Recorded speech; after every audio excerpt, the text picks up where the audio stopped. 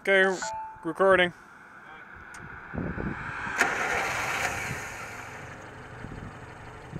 What happens if you give it any gas? That sounds different.